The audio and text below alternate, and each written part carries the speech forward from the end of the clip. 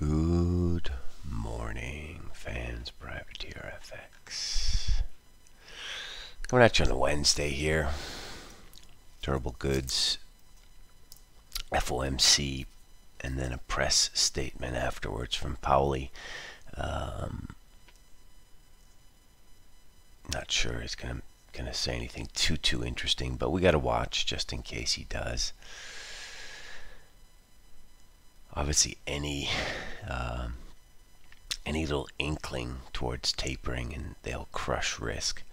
Uh, I don't think he's going to do anything today. Uh, still in the flu season for most of America, uh, even though the numbers are getting better um, and there seems to be light at the end of the tunnel.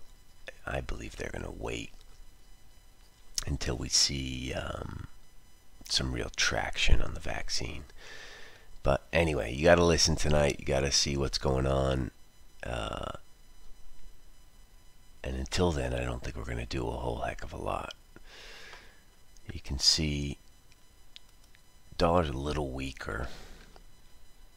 Yesterday, euro kind of we opened, took out new lows, and then just grinded higher all day up to 75. Now we're at 62.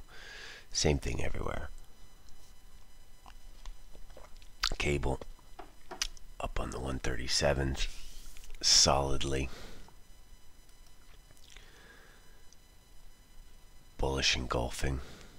Cable looks like she can go further. Dollar Swiss just resisting this uh, 89.25 level. Back down in 88.64. Dollar yen doing nothing.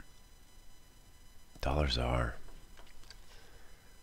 bearish engulfed yesterday. Did not expect that. We took some pain, bought some 20s, but then we got out of them. Um, stopped out of that. Dollar Mex also same same same pain. Got to be square dollar Mex after that.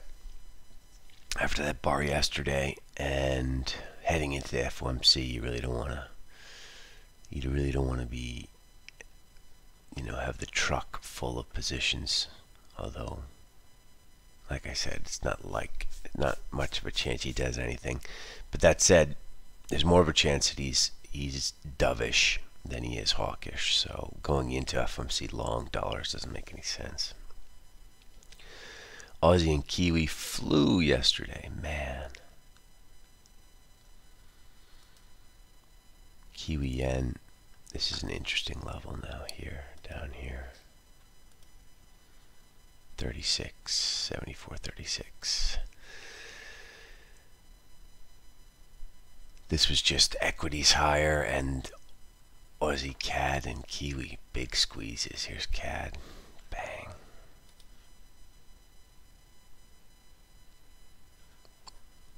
Almost all sort of bearish engulfed uh, in the, on the dollar side. Um, dollar Mex, dollar ZAR, dollar CAD,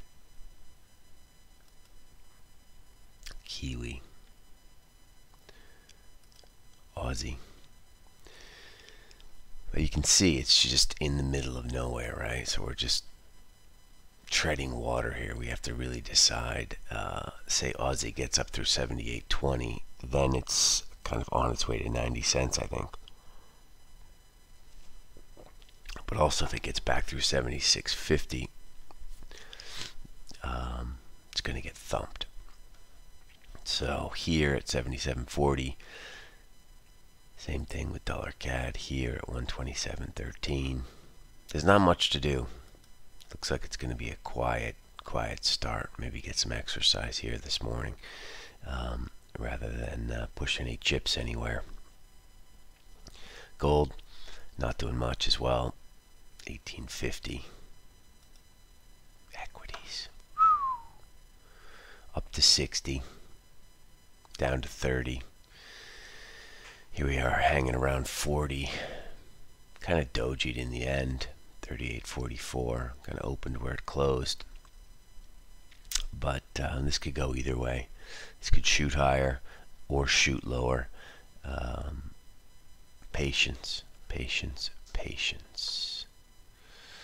Bonds didn't do a whole heck of a lot, to be fair. We didn't get paid. We had some offers, some lonely offers up at 137.20. We had some lonely offers um, up at 171 the figure. Uh, didn't do too much. You can see a theme here today, kind of licking our wounds from yesterday.